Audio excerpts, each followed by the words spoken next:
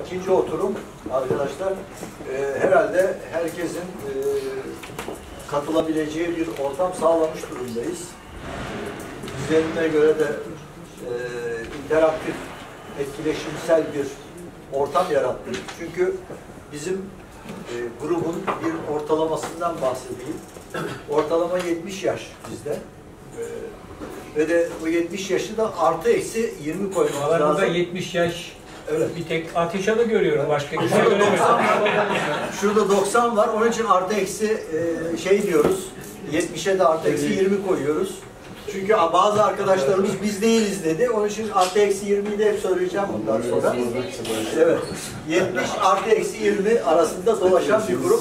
Ama genel olaraktan 50'nin üzerinde olunduğu zaman kaçınılmaz olarak ona e, andragoji deniyor. Pedagoji değil artık. E, büyüklerin yetişkin eğitimi kavramı içerisinde yürüyen bir e, olay bu. Türkiye'de çok az e, bu kavram bilen. Knowles denilen bir Amerikalı tarafından andragoji kitabı yazıldı. Bundan neredeyse e, 50 yıl önce e, ben Kadıköy e, e, Topkapı Şişe'de eğitimindeyken o tarihlerde o kitabı getirtmiştim. E, o kitapta e, bazı incelikler vardı. O inceliklere dayalı olarak bu grubun bu noktaya gelmesinin sebebi o. Yoksa grubun sayısı 13, 14, 15 derken şimdi 20 kişi, 30 kişiye vardı. Azalma hiç yok, sürekli bir artış var. Demek ki andragojik, e, didaktik uyguluyoruz. Yani yetişkinlere uygun bir e, öğretim biçimimiz, anlatım biçimimiz, bir aktarım biçimimiz, bir e, bilgi birikim biçimimiz var. O açıdan baktığımız zaman da Türkiye'de ender gruplardan biri olduğumuzu 1257. toplantıyı yapabilme kabiliyetinde olmamızın arkasında da bu yaklaşımın yattığını biliyorum. E, şimdi öğleden sonra ikinci toplantımızda bu e, konuyu e, açmayacağız ama ben bir girizgah olarak niye böyle bir e, grup e, bir arada olabiliyor e, ve de bir aile gibi hareket edebiliyor. Çünkü pratik ve teori bütünlüğünü her zaman sağlamaya çalışıyoruz. Teoriyle ilişkili e, bir bölüme geçeceğiz, bir ara bölüm. Orada ne yapacağız? Kaotik e, ekonomiyi irdeledikten sonra yeniden pratik e, örnekleriyle e, 6'ya çeyrek kalaya kadar e, bu konuyu sürdüreceğiz. Bir saatlik bir vaktimiz var. O anlama geliyor. O bir saatlik vakitte de inşallah güzel e, anlar yaşayacağız.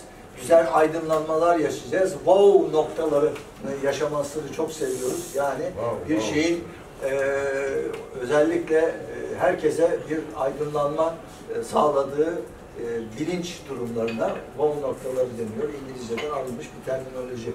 E, Sen ne diyorsun ona ya?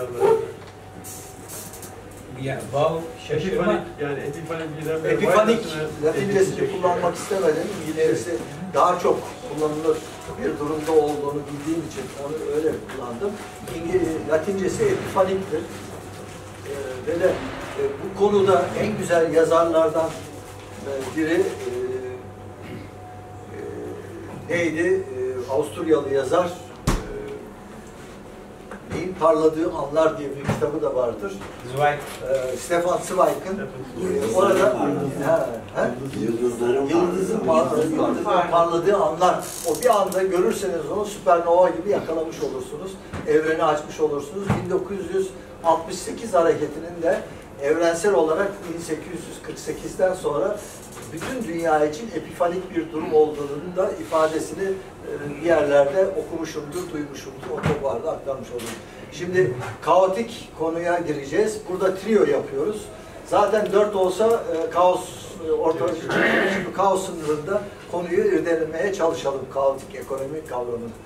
E, Melik Bey'le başlayalım istiyorum. Onun çünkü zaten güzel bir e, elinde çalışması var. O çalışma e, bir şey haline de dönüştürülmüş. Bir e, yazı haline, bir e, bildiri haline de dönüştürülmüş. Kısaca da anlatırsa içeriğinin ne zaman, niye böyle bir içerikle karşı karşıyayız biz de mutlu olacağız. Buyurun. Evet. İsterseniz gazla başlayalım. Ee, çünkü kaos gaz demek. Gaz vereceksiniz. Termodinamikten Evet. İsterseniz biraz da ruha doğru geçelim. Ruh çağırmayacağız ama.